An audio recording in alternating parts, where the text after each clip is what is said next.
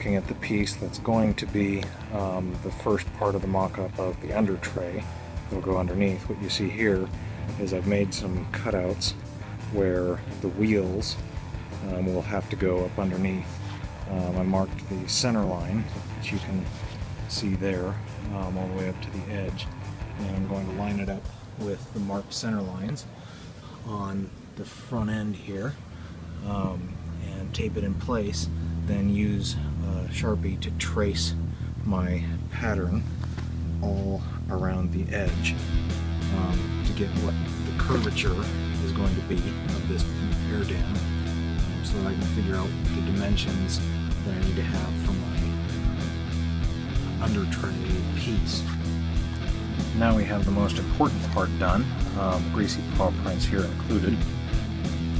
We've taped it up in the front kind of give us a reference point. Um, I held it down while my trusty assistant uh, Brezhnev worked on tracing out the uh, line and getting kind of the rough curvature so now we at least have something to go off of. Um, I haven't quite determined exactly how I'm going to terminate the line at the back, but that's okay.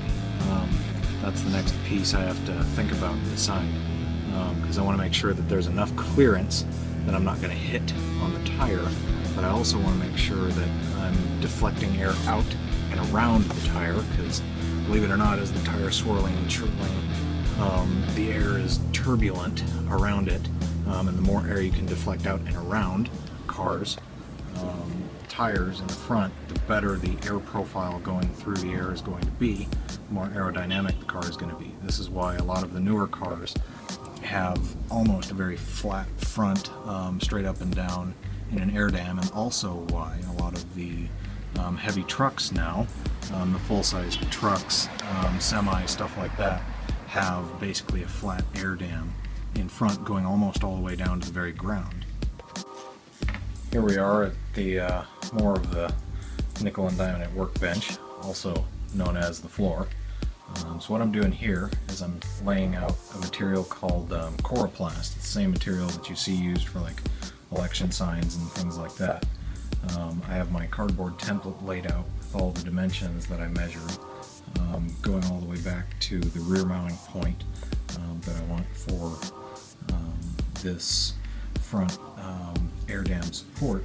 And even though this coroplast is not really um, stiff, what I'm going to be doing is I'm going to be using an adhesive and layering on uh, sheets of aluminum to tie it together structurally. Um, so in this case, for the Miata, because it's so small, I'm able to use uh, two two foot by four foot um, coroplast panels, um, which you can get at local hardware stores undoubtedly.